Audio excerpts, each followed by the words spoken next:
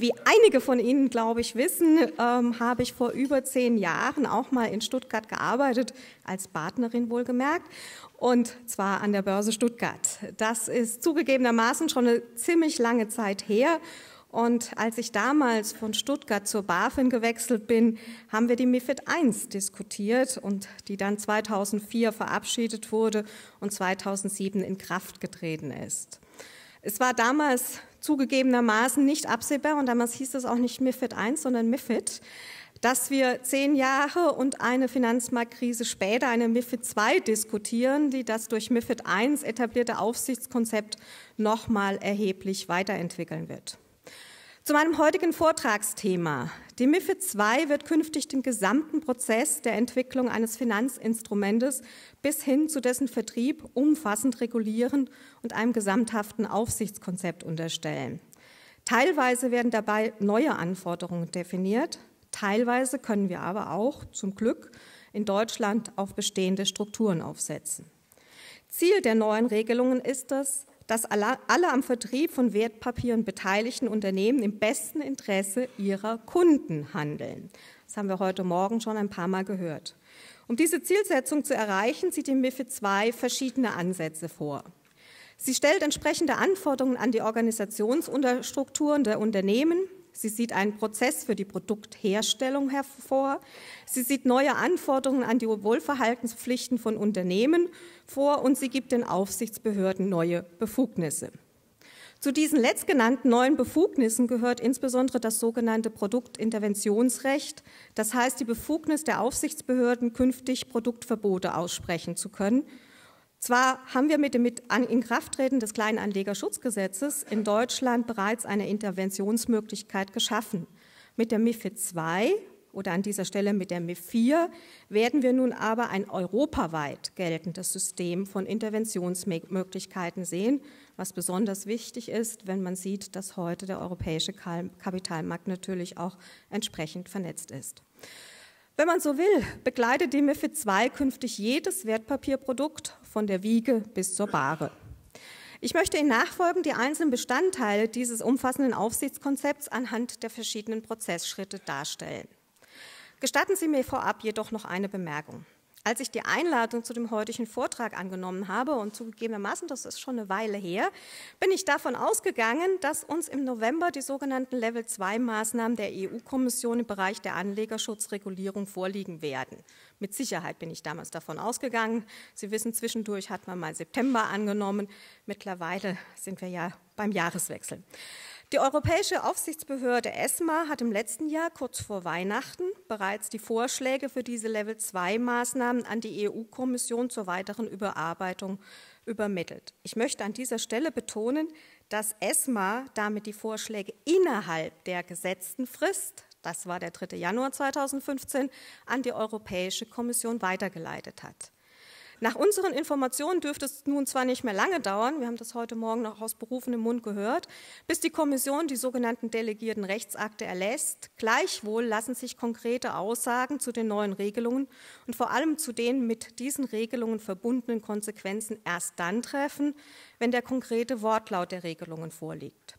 Dabei können wir derzeit auch nicht sagen, ob die Kommission die delegierten Rechtsakte in der Form einer umsetzungsbedürftigen Richtlinie oder in der Form einer unmittelbar geltenden Verordnung oder vielleicht sogar beides erlässt. Ich bitte Sie daher, mir nachzusehen, dass ich an vielen Stellen und leider meistens dann, wenn es interessant werden würde, auf die noch fehlende Ausführungsbestimmung verweisen muss.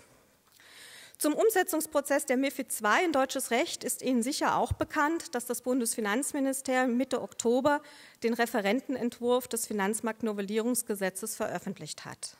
Die Konsultationsfrist ist letzte Woche abgelaufen. Ein Blick in den Gesetzesentwurf zeigt, dass sich unser seit über 20 Jahren nun zwar stetig weiterentwickeltes, aber in den Grundstrukturen sehr beständiges Wertpapierhandelsgesetz komplett ändern wird. Aber auch hier gilt, dass an vielen Stellen noch auf die Aussagen aus Brüssel gewartet werden muss, um die einzelnen Regelungen konkretisieren zu können. Die Level-2-Maßnahmen werden dabei ganz erhebliche Auswirkungen auf die WPD-VOV, äh, die mit der MIFID I eingeführte Verordnung zur Konkretisierung der Wohlverhaltensregeln der WP, des WPHG haben. Aber lassen Sie uns nun mit den einzelnen Prozessschritten und der damit verbundenen neuen Aufsichtskonzeption beginnen. Während die MIFID I sich stark auf den Vertriebsprozess eines Finanzinstrumentes konzentriert hat, wird die MIFID II künftig daneben auch den Produktherstellungsprozess stark in den Fokus nehmen. Diese neuen Regelungen laufen unter dem Stichwort Product Governance. Der neue Regelungskomplex beruht auf der Erkenntnis aus der Finanzmarktkrise, dass ein wirksamer Anlegerschutz auch erfordert, dass die vertriebenen Finanzinstrumente adäquat und an den Kundeninteressen orientiert sind.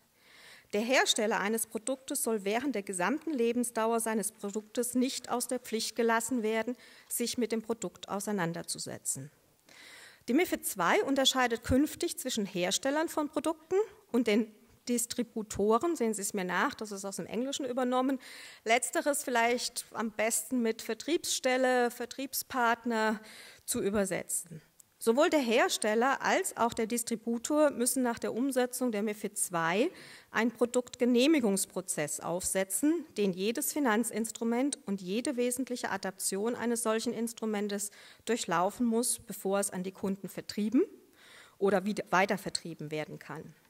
Für den Fall, dass Herstellung und Vertrieb in einer Hand liegen, ist natürlich ein einziger interner gemeinsamer Prozess ausreichend. Mit diesem Produktgenehmigungsprozess soll sichergestellt werden, dass es zu keinen produktbezogenen Interessenkonflikten zu Lasten der Kunden kommen kann. Solche Konflikte können zum Beispiel daraus entstehen, dass die Risiken des Produkts zu Lasten der Kunden verteilt werden oder der Produkthersteller gar gegen den Kunden spekuliert. Ein wesentlicher Bestandteil des Prozesses ist auch die Bestimmung eines Zielmarktes für das jeweilige Finanzinstrument. Zu den Kriterien dieser Zielmarktdefinition gehören zum Beispiel die Vorabdefinition eines Produktadressatenkreises, wobei einschlägige Risiken für diesen Zielmarkt bewertet werden müssen und gewährleistet werden muss, dass die Vertriebsstrategie dem Zielmarkt entspricht.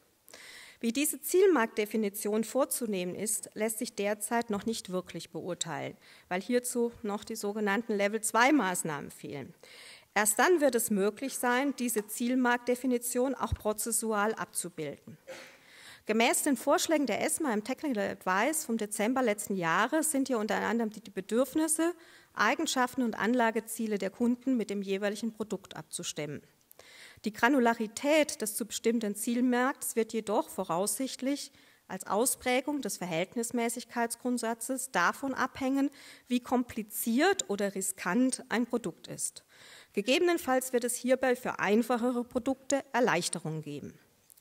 Weiterhin sind sogenannte Szenarioanalysen durchzuführen, mit denen getestet werden soll, wie sich das jeweilige Produkt unter verschiedenen Voraussetzungen oder vielleicht besser gesagt verschiedenen Marktsituationen entwickeln würde. Ferner müssen Hersteller und Vertrieb auch die Kostenstruktur des jeweiligen Produkts dahingehend untersuchen, ob sich die Kosten mit den Bedürfnissen des Zielmarktes vereinbaren lassen. Der Produktgenehmigungsprozess ist nicht nur zu Beginn des Lebenszykluses eines Produktes durchzuführen, sondern das Produkt muss vielmehr auch in regelmäßigen Abständen überprüft werden. Hierbei müssen alle Faktoren berücksichtigt werden, die wesentlichen Einfluss auf das potenzielle Risiko für den bestimmten Zielmarkt haben können. Mit anderen Worten ausgedrückt bedeutet dies, dass die Produkte einer lebenslangen regelmäßigen Kontrolle unterzogen werden müssen. Dabei wird die Frage, wie oft ein solcher Überprüfungsprozess stattzufinden hat, unter anderem auch von der Komplexität des Produktes abhängen. Neben den regelmäßigen wird es auch anlassbezogene Produktprüfungen geben müssen, mit denen zum Beispiel auf Ereignisse mit, den, mit Auswirkungen auf die Rendite, das Risiko oder die Wertentwicklung reagiert wird. Dies kann beispielsweise der Fall sein, wenn die Insolvenz von Emittenten, deren Wertpapiere als Underlying dienen, die Wertentwicklung des Produktes erheblich beeinflusst. Die Feststellung, Feststellungen aus einer solchen Produktüberprüfung können Reaktionen erforderlich machen, die zum Beispiel die Veränderung der Produktgestaltung oder die Einschränkung des Vertriebs an bestimmte Kundengruppen umfassen oder sogar bis zur Beendigung des Vertriebsprozesses reichen können. Das jeweils betroffene Unternehmen muss hierbei nach eigenem Ermessen entscheiden, welche Maßnahmen angemessen sind. Neben dem Produktgenehmigungsprozess wird künftig ein laufender Informationsaustausch zwischen Hersteller und Distributor zu etablieren sein. Der Hersteller wird mit dem Distributor bzw. der Vertriebsstelle Informationen zum Zielmarkt und der Vertriebsstrategie zur Verfügung stellen müssen, damit dieser das Produkt sachgerecht vertreiben kann. Das Vertriebsunternehmen muss dann unter Berücksichtigung der vom Hersteller übermittelten Informationen aus den eigenen ihm vorliegenden Informationen über seine Kunden eine Vertriebsstrategie entwickeln. In umgekehrter Richtung wird der Distributor den Hersteller über die Einhaltung des Vertriebs innerhalb des Zielmarkts informieren müssen, damit dieser die Informationen im Rahmen der laufenden Überprüfung berücksichtigen und bewerten kann. Mangels der noch nicht verabschiedeten Level 2 Maßnahmen, das werden Sie noch öfters hören, gibt es im Zusammenhang mit dem Thema Product Governance noch viele offene Fragen. Dazu gehören neben der Frage der Granularität der Zielmarktdefinition auch Fragen der Behandlung des beratungsfreien Geschäftes. Zentrale Frage ist, inwieweit Zielmärkte im beratungsfreien Geschäft eine Rolle spielen können, wenn man bedenkt, dass dieses Geschäft auf Initiative des Kunden erfolgt und er dort selbst entscheidet und daher eigentlich ein deutlich niedrigeres Schutzniveau angezeigt ist. Weiterhin offen ist die Frage, wie Vertriebsunternehmen die Produkte von Emittenten vertreiben, die selbst nicht unter MIFID II fallen. Wir denken zum Beispiel an alle Aktienemittenten oder an auch ähm, die ganzen dem KAGB unterstehenden Emittenten und daher keinen Produktgenehmigungsprozess aufsetzen müssen, die Zielmarktbestimmung durchführen werden. Auch hier sind die erwarteten Level-2-Maßnahmen maßgeblich. Nach den Vorstellungen der ESMA wird sich der Distributor in diesen Fällen bemühen müssen, zuverlässige und ausreichende Informationen vom Emittenten zu erhalten.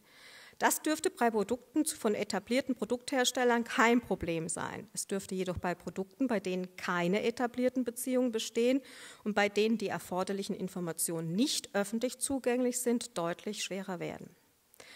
Auch wenn noch viele Fragen offen sind, kann man jedoch ein erstes Zwischenfazit zu den neuen Regelungen zur Product Governance ziehen. Sie sind ein neuer Bestandteil des gesamten Wertpapierkonzeptions- und Vertriebsprozesses. Der aufsichtsrechtliche Fokus erweitert sich unter diesem Stichwort über die Aufsicht über den Vertriebsprozess hinaus zu einer Aufsicht über den Prozess zur Herstellung der Finanzinstrumente. Dabei stehen Kundennutzen und Kundenbedürfnis im Fokus dieser Prüfungen. Ferner wird deutlich, dass der Hersteller und der Distributor eine, wenn Sie so wollen, lebenslange gemeinsame Verantwortung für das Finanzinstrument haben. Bereits heute gibt es in den meisten Häusern Prozesse, die die Produkte durchlaufen müssen, bevor sie in Produktion gehen oder bevor diese an die Anleger vertrieben werden können. Gleichwohl dürften die Definition eines Zielmarktes und die nun vorgesehene laufende Kommunikation zwischen Hersteller und Distributor neue Prozesse, die voraussichtlich auch technisch unterstützt und abgebildet werden müssen, erfordern. Lassen Sie uns einen Schritt weitergehen. Nehmen wir an, dass wir ein anständig konzipiertes Finanzinstrument haben und nun gilt es zu beleuchten, unter welchen Bedingungen es vertrieben werden darf. Zum einen führt hier die MIFID II europaweit die unabhängige Anlageberatung ein, die sich dadurch auszeichnet, dass der Berater keine Zuwendungen annehmen darf und zudem eine ausreichende Produktpalette analysiert haben und anbieten muss. Die angebotenen Instrumente müssen hinsichtlich der Art und der Emittenten hinreichend breit gestreut sein. Hinzu kommt, dass diese Finanzinstrumente nicht von Unternehmen emittiert werden dürfen, die zum Berater in einer so engen rechtlichen oder wirtschaftlichen Beziehung stehen, dass das Risiko der Beeinträchtigung der Unabhängigkeit besteht.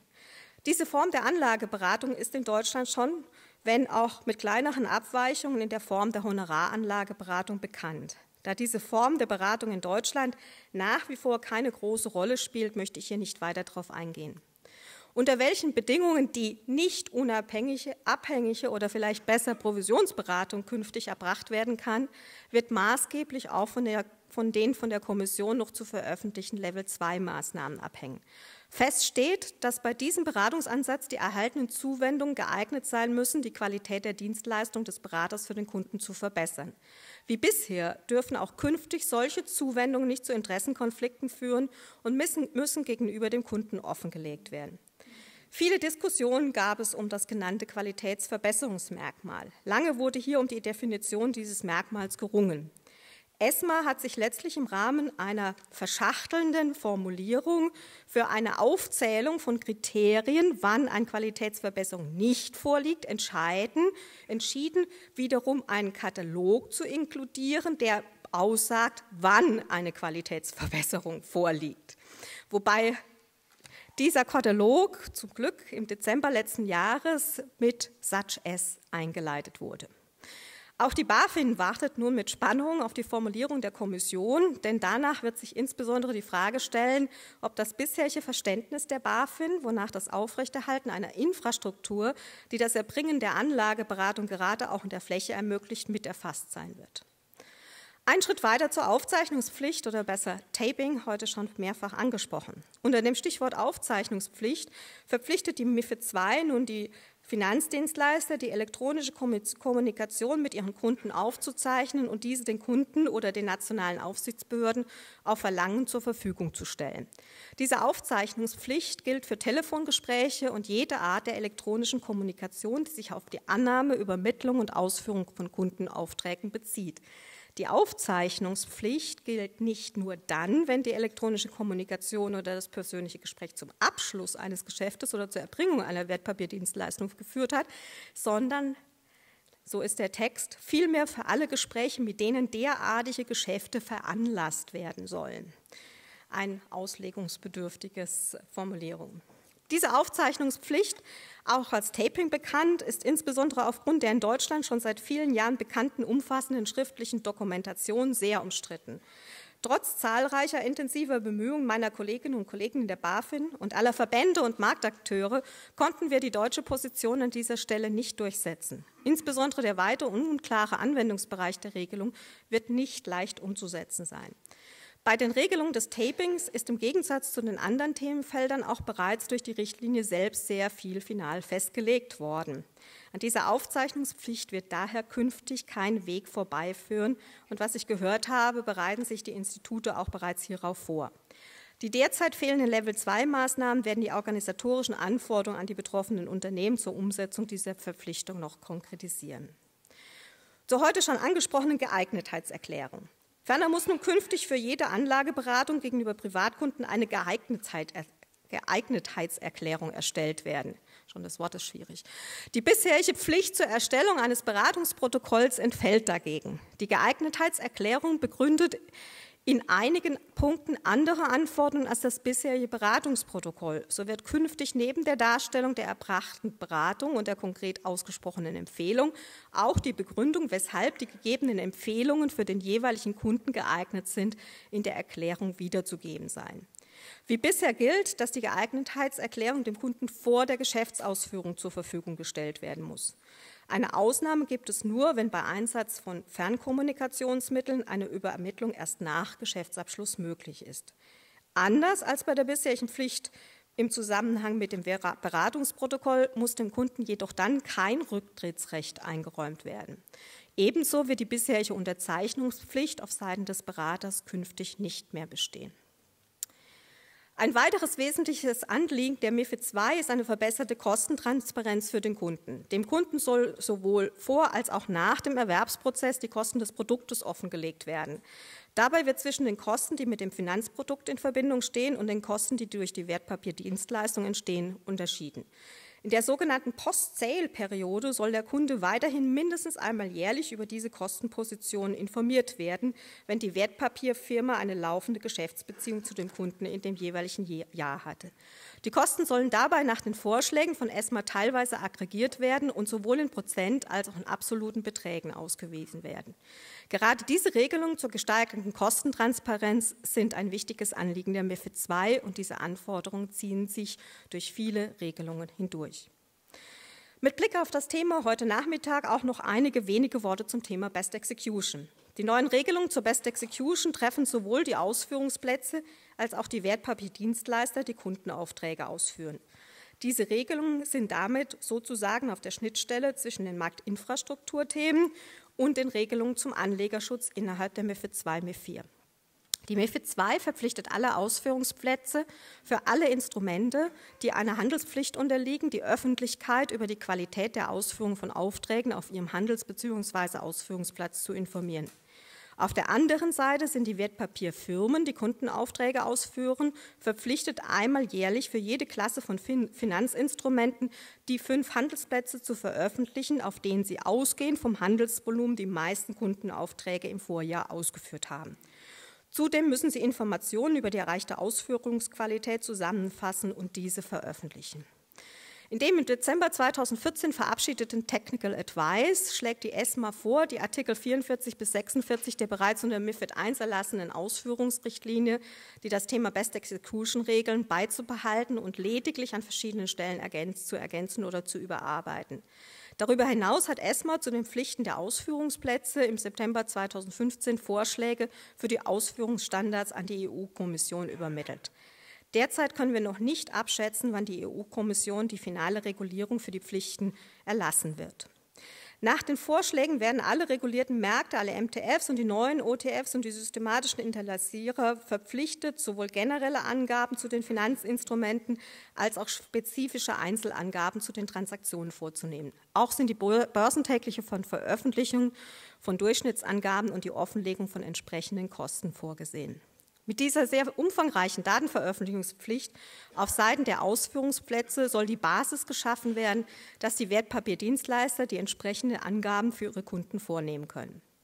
Die Wertpapierdienstleister werden in der Execution Policy künftig detailliert erläutern müssen, wie die Auswahl der Ausführungsplätze erfolgte und welche Prozesse seitens der Wertpapierfirma vorgesehen sind, um die Ausführungsqualität zu analysieren und wie die Wertpapierfirma die Ergebnisse der Auftragsausführung überwacht, um die bestmögliche Ausführung für die Kunden zu ermöglichen.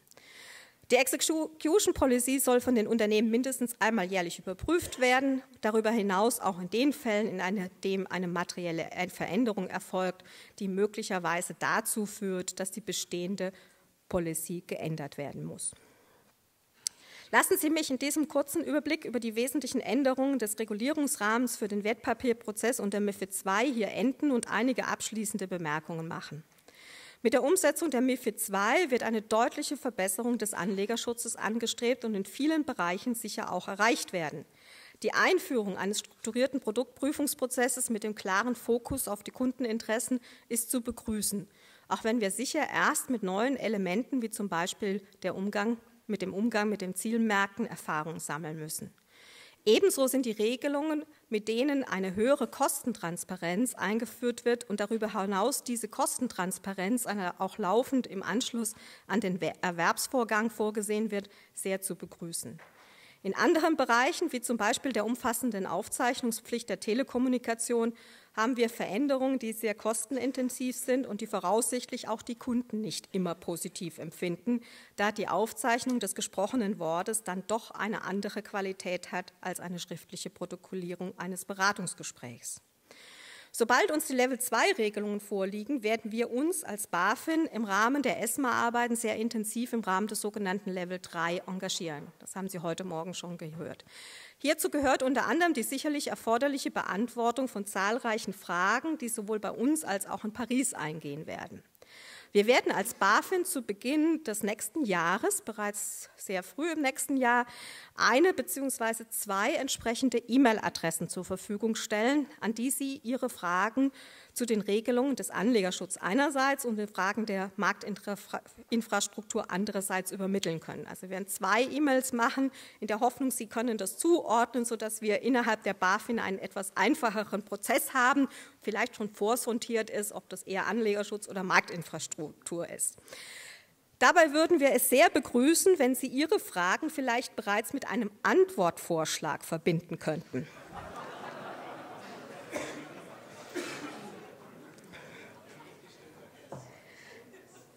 Habe gar nicht gewusst, dass ich so viel Freude damit auslöse. Ich sage auch gleich dazu, das ist keine Verpflichtung. Und wir können Ihnen natürlich auch nicht versprechen, dass wir Ihrem Vorschlag Folge leisten werden. Wir haben jedoch festgestellt, dass es Fragen gibt, bei denen es nicht einmal einfach ersichtlich ist, in welche Richtung die Frage zielt. Wir hoffen, dass uns diese Vorgehensweise den Prozess etwas erleichtert und ab und zu auch zur Schärfung einer Fragestellung auf Ihrer Seite beiträgt. Soweit die Antwort erfordert, dass die Ausführungen auf Level 2 bekannt sind, wird damit eine Antwort erst nach deren Bekanntwerden möglich sein. Das ist, glaube ich, eine Selbstverständlichkeit. In vielen Fällen werden die Antworten zudem eine Abstimmung auf ESMA-Ebene erfordern, sodass wir die entsprechenden Zeitläufe beachten müssen. Gleichwohl glaube ich, dass wir als BaFin durch einen früh geöffneten Frage-Antwort-Prozess einen guten Eindruck gewinnen können, welche Themen einer schnellen Klärung zugeführt werden müssen. Sobald uns die Level-2-Regelungen vorliegen, wollen wir als BaFin zu den die bereits bewährten Informationsveranstaltungen anbieten, um auch auf diesem Weg mit Ihnen einen aktiven Kommunikationsprozess zu treten. Wir hatten letztes Jahr im Sommer noch ganz optimistisch gesagt, wir werden im November solche Veranstaltungen durchführen. Inzwischen sage ich dazu kein neues Datum mehr und warte jetzt einfach ab, bis der Level 2 vorliegt und wir setzen dann den Termin ein.